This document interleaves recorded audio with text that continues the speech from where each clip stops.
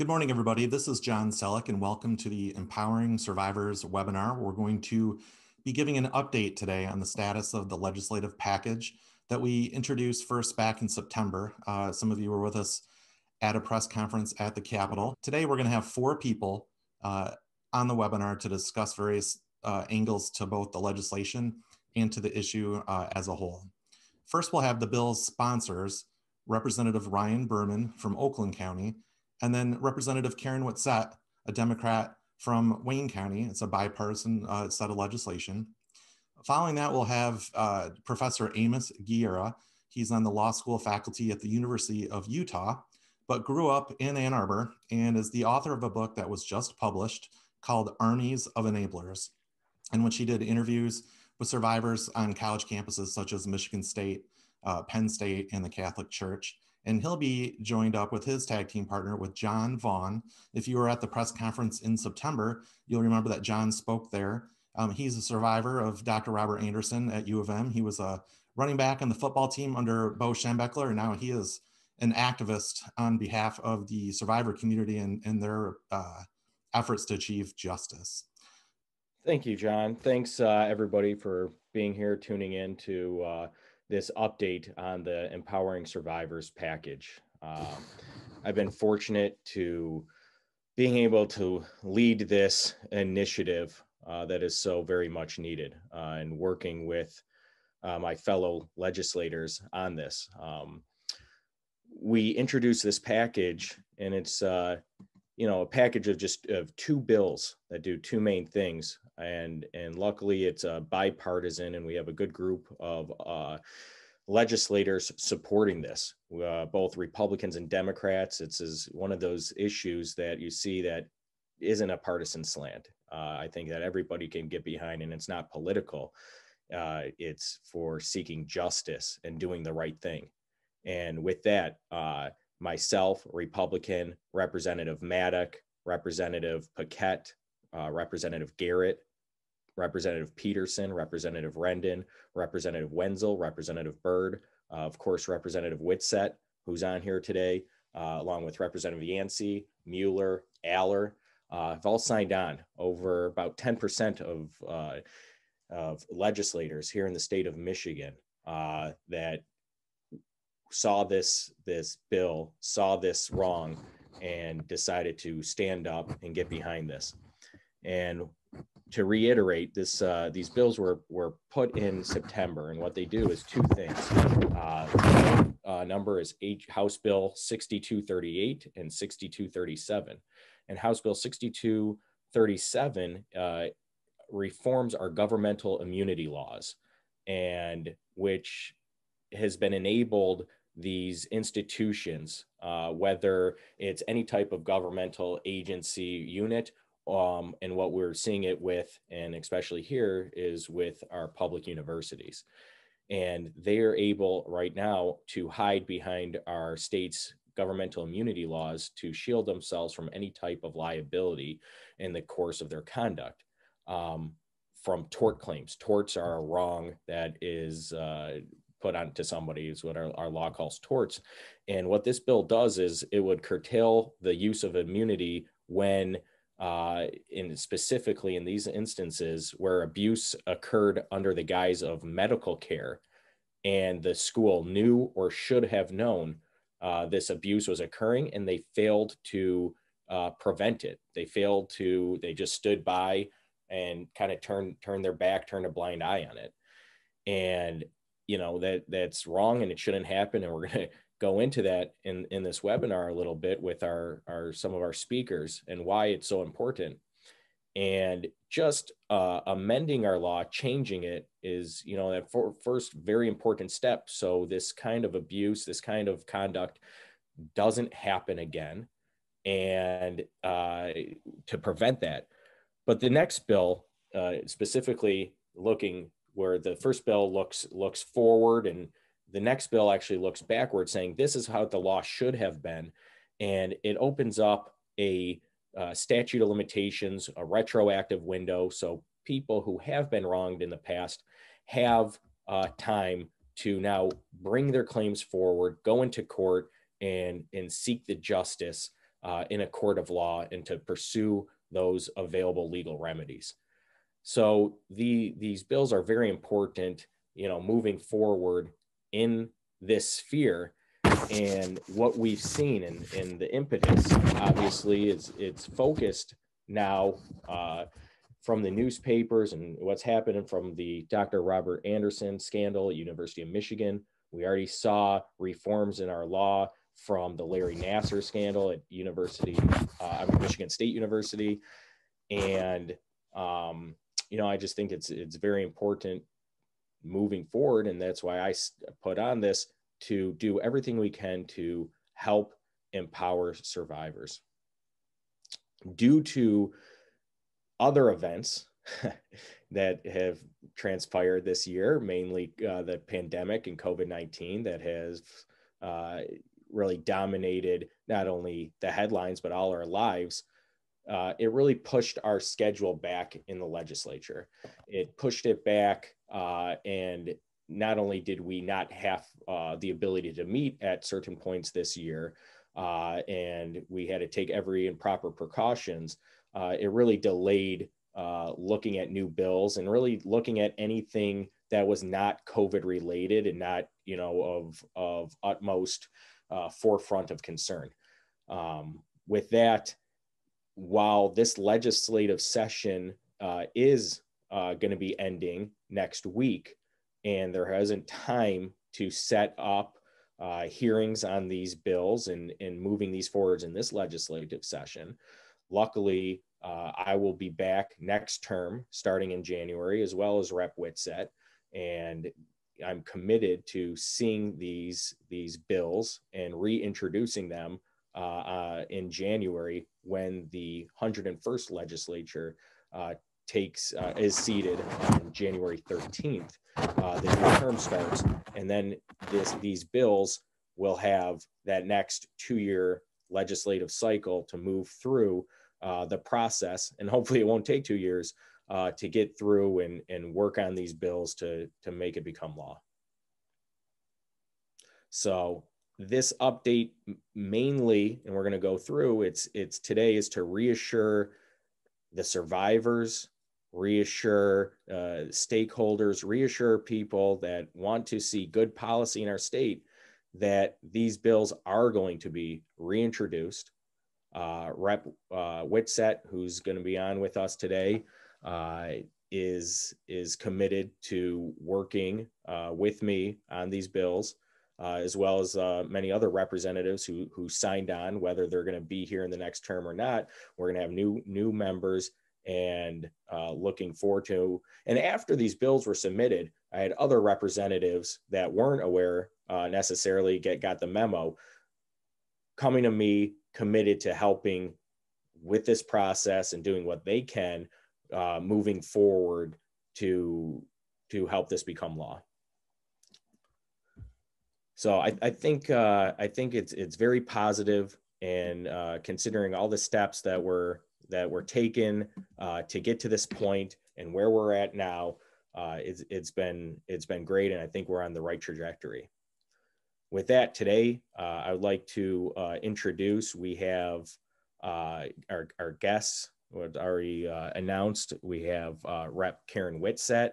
We have uh, former U of M football player Jon Vaughn, who was with us at the introduction of this package in September. Um, and we had others who, who couldn't be here today on this, but I would like to thank Tad DeLuca, John Lott, and and others for coming forward and and helping on this so far. Uh, with that, uh, I would like to introduce Rep. Karen Whitsett from uh, Detroit's 9th District uh, to say a few words. Thank you for having me. Um, as my colleague has so eloquently put it, this work is imperative. And, you know, it comes from my personal experience. One of the reasons why I'm so passionate not just because for myself personally, but because of what has transpired for so many years. This has just been part of our culture, and we've thought that it's okay. Not us personally, but the powers that be thought that this was okay, and it's not okay. And this bill that I'm sponsoring is so important that we give that retroactiveness that is necessary because you're traumatized. You are absolutely traumatized. How are you supposed to make a decision in a short amount of time on something that you've gone through that has hurt you, that has devastated you, that has forever changed your life? There's so much that comes with it from the hurt, the pain, the questions, the embarrassment, um, the anger, the outrage, and then trying to get people to believe you. The disbelief is unsurmountable. So, for myself personally, one of the experiences that I've had, because once you become victimized, unfortunately, you seem to become a victim more than once. It's not just a one time thing. And for me to have the personal experience of having a doctor for me to, to fondle me, to insert his fingers inside of me with no gloves on, with someone in the room, with a nurse's assistant in the room. And what was shocking to me is that this was another Black woman. And it mattered to me that this was, and that I wondered why this person was taking so long to do my exam. And I looked at her because I'm waiting for the glove to snap, and there was no snap of a glove. Can you imagine at your early 20s that this is the experience that you're having, or at any age, but this is the experience that you're having. And the very first things that this person said to me is that I had an STD. He said that to keep me quiet. To keep me quiet. So, of course, I was scared. I was embarrassed. I was traumatized. I didn't tell anyone. But people need to know that it's safe to come to someone, that there's a recourse, that you have actions, and that someone needs to be held accountable, and that you do not have some unrealistic timeline in which to report these matters in. And that's what we're trying to do today with my colleague. We are trying to ensure that victims are no longer victimized, that they cannot be tortured and tormented mentally and physically. One time is one time too many. And that's the work that we're trying to do. And I'm dedicated, I'm determined. I'm probably more determined than last term to be able to get this done and to see this through over the finish line because we have a lot of people that are counting on us. And when my colleague brought this to me, I was on board 100%. He didn't have to ask me twice. And that is still stands today. I'm probably more enthused about getting this done because in this day and age, when COVID is going along, so many issues like this are being pushed to the side and my colleague and i are not going to be deterred by that. We are not going to let this just be brushed under the carpet just because covid is going on. It still doesn't stop victims from being victimized. It probably makes it more rampant than ever before so if you have any questions for me i'm happy to answer them i'm here in full support i'm 100% on board and i'm not letting up full throttle ahead Thank you, Representative. And, you know, it, it shows how strong and courageous and, and what it takes that we, you know, and we have people on today that I'm going to introduce right now, former U of M football player Jon Vaughn, that is courageous enough to stand up. And like Representative Whitsett said, it, you know, we need to know, and that's what having their backs, that they're not alone. And when Representative Whitsett you know, agreed to go on this bill package, and I've worked with her on other bills in the past. I didn't know about her history. I didn't know that this was personal to her, and having that that connection, having that you know personal um, uh, interest in this legislation and like she said she's she's deeply committed to this even more so you know and, and it, it has that uh, impetus to see it through to make sure this becomes because it's it's not just an abstract concept. It, it's personal and we need good policy. And it just you know reiterates that that decision and having karen i'm sorry rep whitsett on this package you know to to to lend her voice to this to lend her experiences showing that you know these these i would say survivors are are not alone. And it takes just one person one courageous person to speak up and that's what we saw. And then you see it's you're not alone. It wasn't just you. There's another one and another one. So with that and, and talking about the importance of it we have former u of m football player jon vaughn and law professor from the University of Utah Law School, uh, Amos Guiora, on today. And I'd like to introduce them about uh, their work. And like I said, having one person stand up, I think that's how uh, Amos got introduced to Jon. And let's hear what you guys uh, are, are, working on or have to say about this. So, um, Jon, can I go ahead? No, go. Yeah, go ahead. So, um, good afternoon, good morning to all of you. Representative Berman, Representative Whitsett, thank you for having um, me on um, this most important conversation. To introduce myself, as John mentioned in the um, introduction, I grew up in Ann Arbor. In Ann Arbor, my father taught at Michigan, and if there's somebody who is true blue, all in, it's me. Um, I need to say that in full disclosure. I also need to add in full disclosure. I'm actually um, skyping in from Israel. Um, I commute between Salt Lake and Jerusalem. Um, I served for 20 years in the Israel Defense Forces, where I was actively involved in operational counterterrorism. And then I came to American academia, and for the last seven or so year, seven or so years, I've been involved in my through my scholarship in a, creating a triangle of complicity, the bystander, and the enabler. A number of years ago, I wrote a book called The Crime of Complicity, the Bystander in the Holocaust, which is about my parents who are both Holocaust survivors. And that book led to a book that came out in September called Armies of Enablers, which is about survivor stories. Over the course of 15 months, I interviewed 20 to 25 sexual assault survivors from Michigan State, Ohio State Catholic Church, USA Gymnastics. And what is of great importance for me is exactly as Representative Whitsett emphasizes, it's not the crime, but what the perpetrator does, it's the enabler. And that's why I think both Representatives Berman and Whitsett are absolutely spot on correct in terms of their legislation. The survivors who I interviewed for actually for both books don't really feel anger at the perpetrator. The anger, the, the, the rage, if I may use that word, is directed at the enabler and or the bystander. I define the bystander as the person who's in the room or sees the person in peril, sees the assault. The enabler is the person who knows or could have prevented and in looking at Michigan State University and Larry Nassar, their enablers left, right, and center. The same thing with Michigan State, the same thing with Ohio State.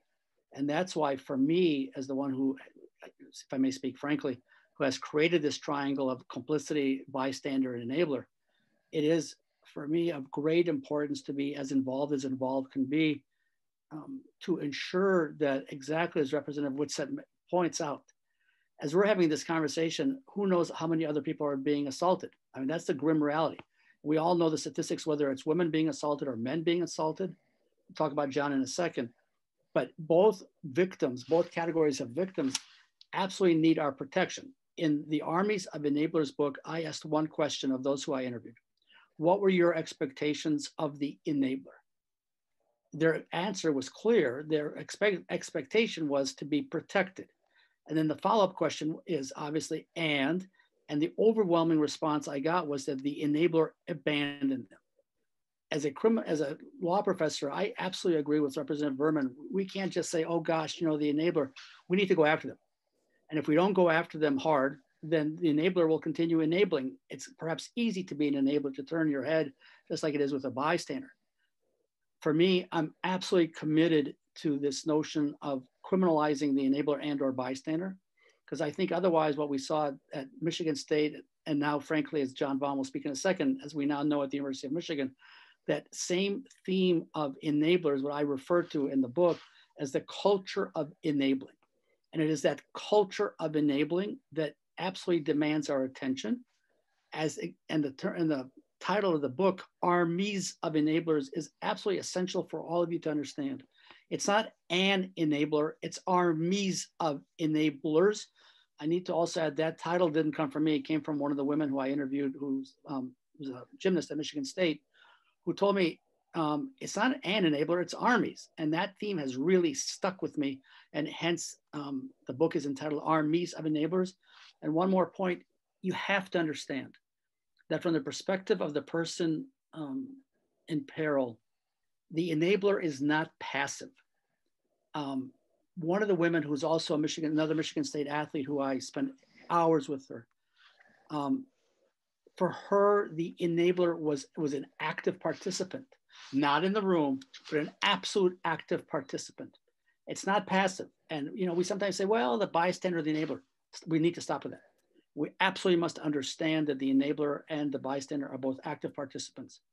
And if we allow them to quote unquote get away with it, wherever they may be, then what happened to uh, Representative Whitsett, what happened to Jon Vaughn, um, and all the other Anderson victims, all the other Nassar victims, who the hell knows where that ex- is happening exactly today?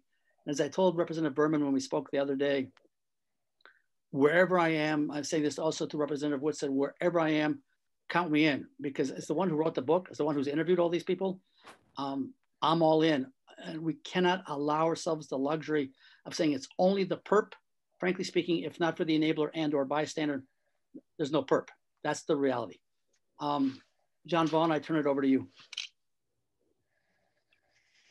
Uh, I just um, thank you guys uh, for inviting me to be a part of this today. And um, just in support of these bills, the one thing that really brought me, I guess, to today is the biggest thing that I feel um, as being a part of this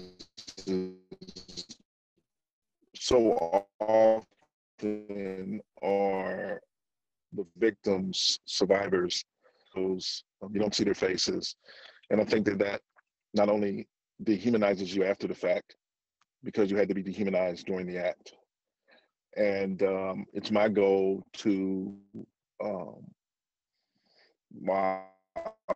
since March, I've heard from so many either ex-teammates or guys that have played at Michigan and started talking to other victims at other, you know, these uh, insidious events. The biggest thing they felt while all this was going on is that they had no voice, um, that they almost didn't exist uh, to the university or to the organization about all the victims um, and how that our voices can echo through the halls of legislature uh, when you're presenting these bills so that people know that behind those numbers um, and, and you know we're, we're we're at a point in time where we will no longer be silent, that we will no longer be anonymous. Uh, which brings me since Amos and I have gotten to know each other, and he's really helped me understand the um, almost, you know, all the structures that went into enabling Dr. Anderson for, you know, I'm 50 years old now for, you know, basically my life um, and his tenure before that University of Michigan is, I would love to come together with you. and It's a conversation Amos and I had about coming together and really piercing the veil and going behind the scenes where you can see not only from a victim's point of view of all of these armies that enabled one individual to perpetrate this many incidents and steal the joy out of so many young men and women throughout the last 50 years. So I'm I'm committed to um, being that squeaky wheel, if you will. You know, I'm here. Um, I won't be silenced. Um, to isolate myself for the next two months um, to work on the book that Amos and I feel is so critical uh, to be an active participant in whatever form of justice uh, needs to be served, but but also just uh, really celebrate uh, that you and we are no longer victims; we are survivors. Representative Berman, can I jump in for a second? Yeah, absolutely. I think that um, and as Jon just shared, we indeed are writing a book. And the book is tentatively entitled Piercing the Veil. And we, indeed, we indeed intend to do just that, pierce the veil. But I also think, uh, again, I say this both to both Representative Berman and Representative Whitsett, had your legislation, which I'm all in on, had it been around, you know, back in the day, then I think that the, the enabling culture, which is what exactly enabled Anderson, just like it enabled Nassar, um, would not have occurred. And if it would have occurred, there would have been consequences for the enabler. And if the reason that I am so committed to working with the two of you and other um, distinguished members of the Michigan legislature is because um, if we don't ad address it in the way you're both of you are suggesting, whether proactively or reactively, or both, the net culture is going to continue unabated. And um, that's why I'm, that's why it's so important for me to be involved with both of you on the legislative front, and frankly, why it's so important for uh, Vaughn and I to write this book um, yes, Vaughn will tell his personal story in terms of Anderson, but there's obviously a larger theme that we're addressing in the book, and that is head-on dressing, tackling, if you will, um, the enabler culture. And I and for me, I say this to both of you, the, the legislation I think will address this, um, and the sooner the better. No, absolutely. Uh, it's with any issue, it's bringing attention to it. It's bringing that attention and then awareness, and it will maybe make somebody in that situation stop and think twice. I'll make somebody that enabler or bystander, you know, more conscientious of what's going on. Or also give them that courage to speak up because that's what's happening here is these survivors having that courage. Jon makes uh, you know, a great point of him not just wanting to be a name, not be seen, have a voice. People just don't want to be another statistic it takes that courageous individual to stand up, be seen, to bring attention to these matters, like we were just discussing. But also, when you're talking about legislation, when you're talking about these themes, and whether it's legislation or just for the media, um, you know, bringing that emotion uh, out of it. You know, there's two things there's logic and emotion. I didn't have the emotion where Representative Whitsett brings that in. And looking at from just a logical perspective, right? It makes sense. So a lot of people try to manipulate or use emotions, and we you can get into that. That's your whole research and in, in there.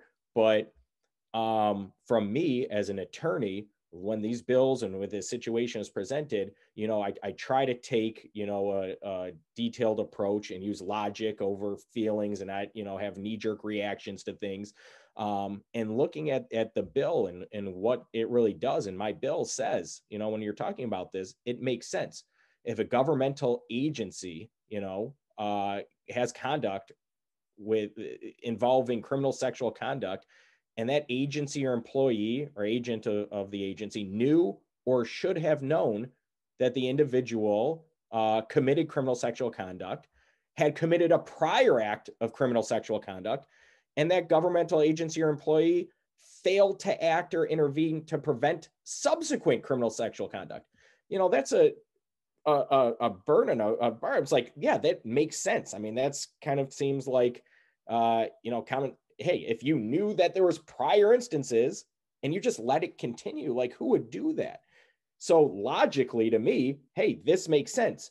And then when you put the the face behind it, you put the story, you put the emotion, you see how powerful it is in each individual story of why it makes sense. Here's the, if I may say one more thing. Yeah. When when when Jon Vaughn um, was raped by Dr. Anderson, 1988 to 1990. Here's the reality: Anderson should not have been on the campus at the University of Michigan. Uh, as we know, as public record, there's an associate vice president at Michigan who fires um, Anderson and that decision is, is, rescinded, whatever that word means. I mean, Ryan, both you and I are lawyers. Right. Um, so that word has, has complicated. But the reality is when Vaughn comes to Michigan as a freshman in 1988, Bob Anderson should never have been on campus. That the only reason he's there is because somebody made the decision to allow him to continue to be there and allow him to continue to treat the football, uh, treat quote unquote, the football players. That's from my perspective, um, not to repeat, but I, I agree with you 100% it's creating that culture that it that, that enables the, the continued enabling by the enabler.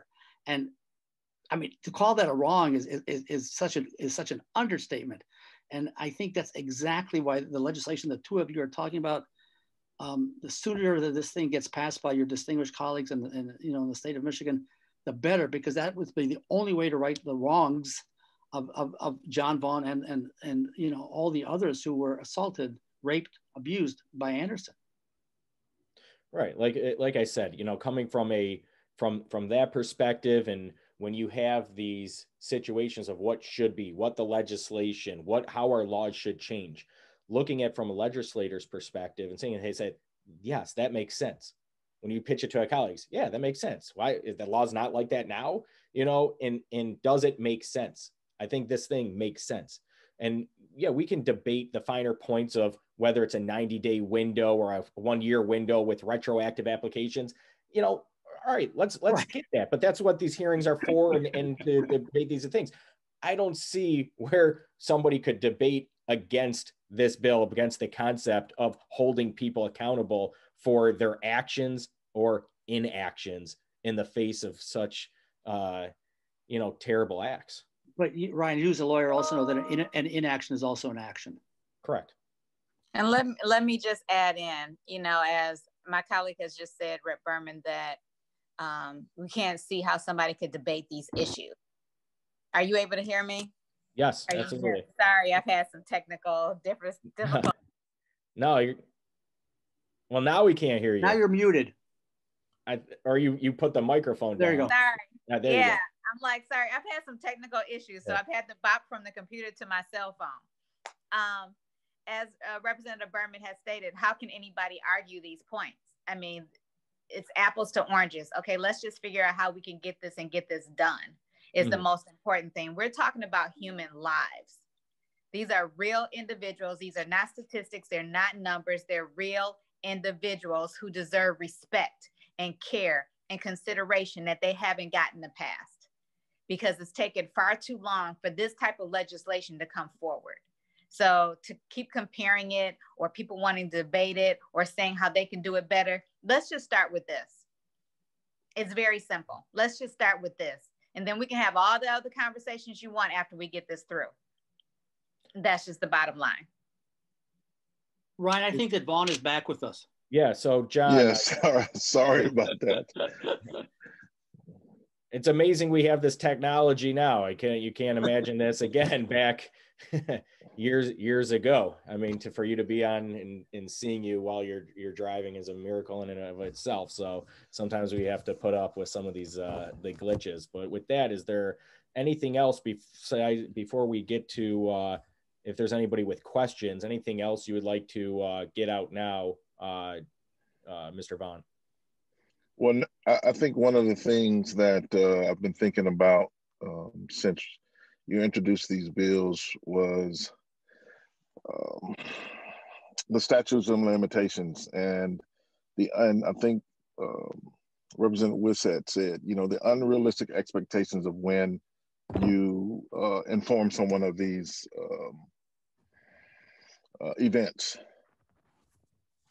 I hadn't thought about my 30 years of daily life at the university uh, for 30 years.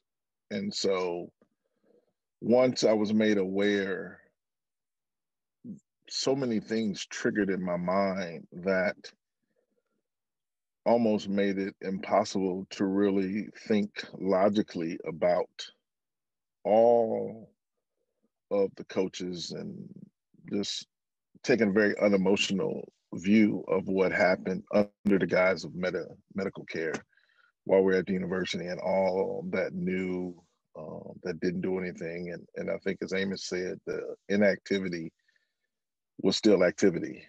Um, so I agree with with with you all and especially with Amos that whatever I can do in testifying, um, just being a part of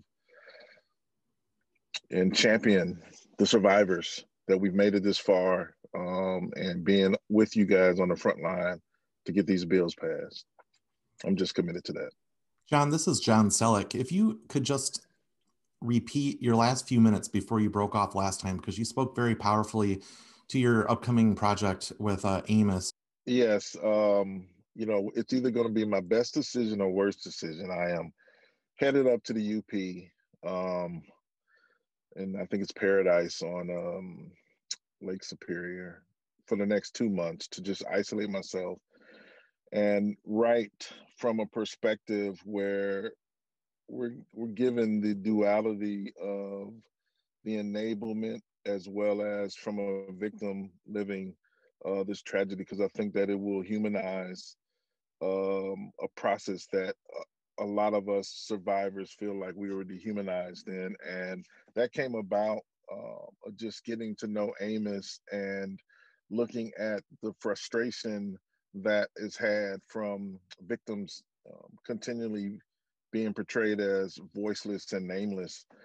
Um, we, we collaborated and said, wouldn't it be interesting to give a real life accounting of the trauma as well as how that trauma was permitted for so long, case after case after case after case. And I just think that what Amos has to say, and, and hopefully uh, my story can be, um, you know, simply put, just pierce the veil and give color to how um, these atrocities can occur for uh, decades long.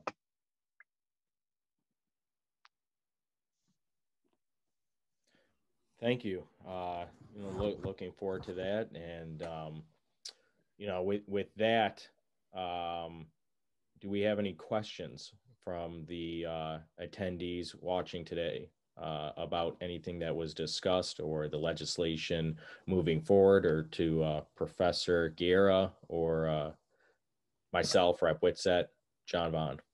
Are any questions? Yes, we're going to have a question from the Detroit News, and I'm going to promote Orlander to the panelist position so she can see you and you can see her and she can ask her question.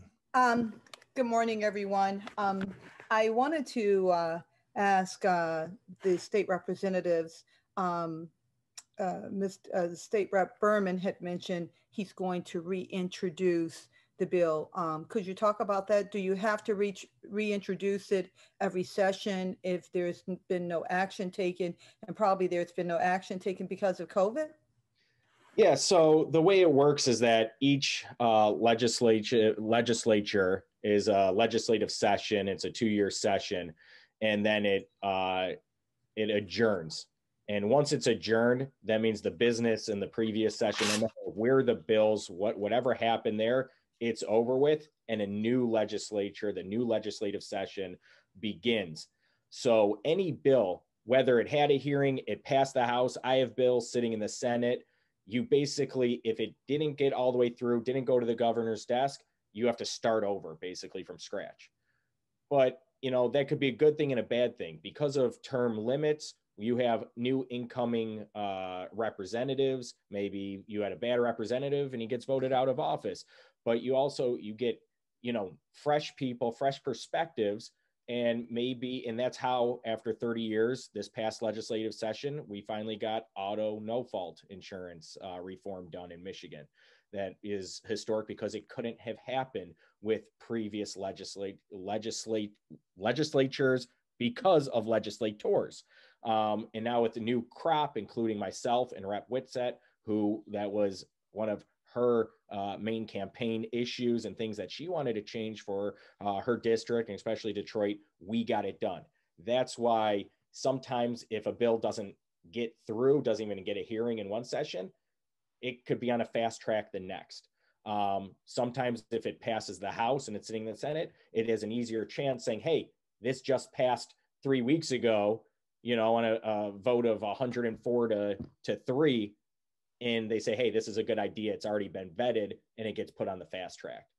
So here, because of COVID, because of our schedules, uh, it didn't work out. Uh, the Judiciary Committee and our committee structures, I can go bore you with details if you want to know more of the behind the scenes, but the Judiciary Committee, where these were referred to that I'm a member of, uh, is uh, one of the super committees this year that legislation just gets vetted through one committee and goes on to the floor.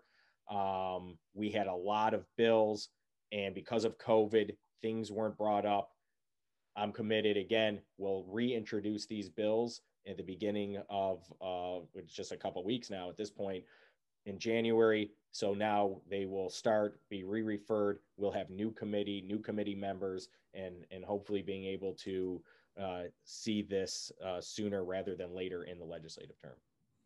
All right, thank you very much for that. We have another question from Kate Wells from Michigan Radio, and she'll be appearing on the screen in just a second. Thanks, guys. Good morning, guys. Uh, two quick questions. So, Ryan, if I understand this correctly, you're saying that the legislation didn't even get a get a vote within the committee at this point. And then my second sort of follow up question, more broadly here, is you guys have mentioned the similar Nassar legislation that this was based on, and during that period of time, we saw MSU lobby pretty hard against broadening that legislation. Have we seen University of Michigan or op- any other entity do any kind of lobbying, even if not sort of out in the forefront, to oppose this legislation? So, in, in answer of your first question, if we look at the calendar of how many days we actually were in session uh, since September, uh, there was not that many. Uh, and especially when you have uh, a bill as important as this, and when you have uh, many people that wanted to come in and testify. And yeah, we can use Zoom and stuff now, but it's coordinating the things. You need a lead time.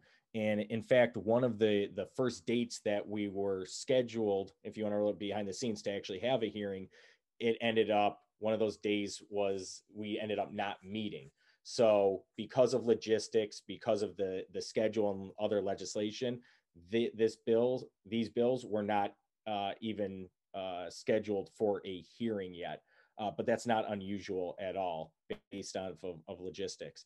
Uh, like I said to the previous question, we're going to have uh, new people, and if there were some people that maybe were opposed to this behind the scenes, they're not going to be there next next term. Um, as far as anybody lobbying, because it didn't get and it wasn't even at that hearing level yet. Typically, at those hearings, that's the opportunity for any type of uh, individual or entity to either talk at a hearing in support or in that case of your question against uh, but they don't even have to talk. They can submit a card of opposition or once it's docketed or scheduled for a hearing typically that's when people come out and start uh, a buzz around it in different positions. Uh, i wouldn't i haven't heard uh, directly anybody uh, opposed to this uh, indirectly, I'm sure that the University of Michigan would be.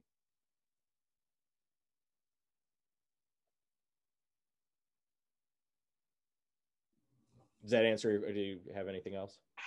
Yeah, no, that's actually, that's a very helpful explanation. I do have a couple more questions, but I, I want to be conscious of everybody's time and see if anybody else has questions before I ask a third. Kate, why don't you go ahead with one more question? Yeah, I'm uh, so my larger question here then is given this delay, does this, to your knowledge, have any impact on whether guys like Jon Vaughn can technically go to court at this point? Are they essentially waiting on this legislation? I'm sure they're not waiting to be doing, you know, behind the scenes negotiations through their attorneys with the university. But do they, some of these survivors essentially have to wait for you guys to pass this before they could potentially, you know, go to file a suit or be part of a suit? Yeah, so I mean, there's a, there's a couple facets to to that question, and you know, mainly people get redress through through the courts. Yeah, there could be, you know, before that as an attorney, you know, pre-suit, you know, settlement demands.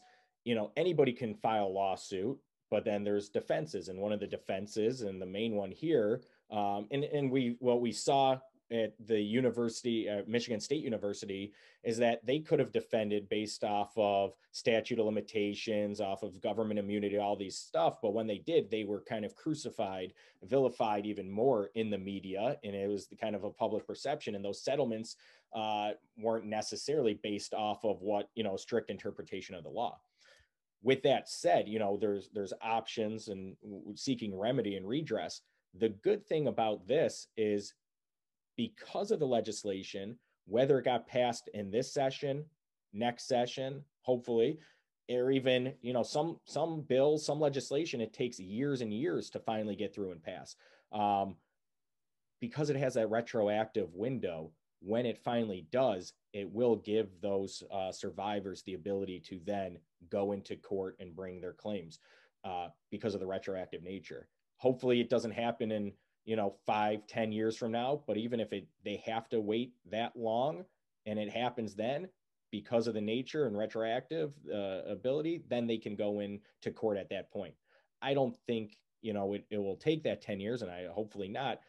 I like to get things done quicker for a bill that was submitted in September and because of COVID and everything that's happening and not to have, you know, cross the finish line two months later is is really unrealistic expectation if anybody thought it would have been that easy, especially for something that is uh, media attention and controversial such as this. But I'm the type of person that doesn't necessarily take no for an answer. I go through and when I take, put my name on something, I see it through, and I'm kind of uh, to, in, you know, intent on pushing it, not just you know trying to. I don't like the the the spotlight. I'm not looking for to do this Zoom. I'm doing this not for me or put my name on something where other reps may be fine putting their name on a bill and getting some publicity and not caring what happens behind the scenes. I'm doing it because of the policy obviously rep Whitsett is doing it because of the policy.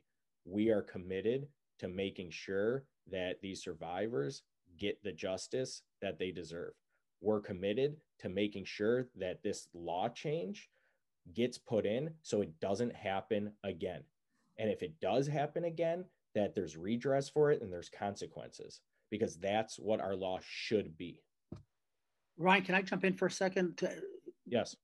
Ms. Wells, if I may jump in for a second, this is Amos Guiora. I think as an add-on to Representative Berman's comments, which I obviously agree with 100%, there are three words that, if I take the, my two books together, the Holocaust book and the Armies of Enablers book, that tie, tie into Berman's comments. Three words are responsibility, accountability, and transparency. And whether that's Michigan State or um, University of Michigan, it's absolutely essential, and I think this is the what Representatives Whitsett and, and Berman are trying to do with their legislation, is to impo- impose accountability on university actors. And I think that it's a sends a clear message, but more than sending a clear message, it has really powerful consequences. And I think that Jon Vaughn would agree with me that if survivors know that institutional actors are going to be held accountable as enablers, not as perps, but as enablers, there's a very powerful message that's being sent to um, people who enabled Anderson and others who are, as we speak, are enabling. And I think that to, if you think about their legislation, that theme of accountability is absolutely essential. I think it's a critical, as I understand their, their effort, it's a critical piece of their effort. I would like to just jump in real quick and just say that, you know, the timing is imperative because every time there's a new school year, this is my thought. Every time there's a new school year, there's a new opportunity for somebody to be victimized. So the time is of the essence. So Representative Berman and I are determined. Thank you, Representative. Um, we have a follow-up question from the Detroit News. Yeah, it's just um, questions for um, Amos and Jon. Um, when do you expect the uh, book uh, that you two are working on uh, to be published? And will there be other stories besides uh, Jon Vaughn's? Uh, one, yes, there will be other stories. Um, and two, Amos and I are aggressively uh, in the writing process that we feel should be completed within the next six to nine months. And we're looking at completing it in 2021. Um, feel really good about and it you will. My goal is that it will include other stories, okay. and um, my goal is to have it come out. You know, I'm targeting and hopeful um, before uh, kickoff of the football season next year. Okay. We want to thank everybody who uh, attended today and lasted through all the tech problems, everything else. Thank you very much, Jon Vaughn, for finding your way back to us. And thanks uh, for Professor Guiora from zooming in from, uh, from Israel and Representative Berman and Representative Whitsett. If anyone else has any questions, feel, please feel free to email me at the uh, email address I sent to you earlier for this Zoom. And otherwise, we'll conclude for today and thank you very much.